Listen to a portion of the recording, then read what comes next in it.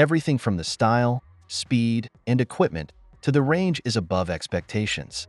I've gotten so many compliments on how it looks. It's a bike to impress, that's for sure. The speed is much expected for the Class 3 e-bike. Not crazy fast, but tops out at 32 on good days, stays around 27 for the most part. Any faster, and you're technically breaking the law, so I'm totally happy with the speed. The handle grips are a very premium leather with red details. The brakes are very impressive. Out of the box, I could achieve a full lock of the tires. After 1,000 miles, I'm looking up how to bleed the brakes. They aren't regular design brakes, but I'm sure I'll figure them out. The light on the front is super bright, basically like a normal motorcycle light.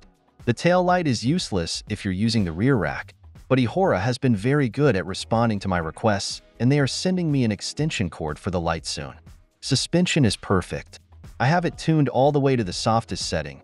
Although you will have to move the tail light somewhere else as when you hit bumps, the tire hits the light. Not a big issue. Range is phenomenal. I just rode it for over 5 hours yesterday. Got down to 9%, haven't killed it yet. I've ridden it over 75 miles on one charge with mostly throttle. It's the biggest battery available for an e-bike you're going to find. Overall, I'm very impressed. This is my third e-bike, and I don't see myself ever getting another e-bike in this class. I would either upgrade the motor on this one or buy an actual a motorcycle or dirt bike.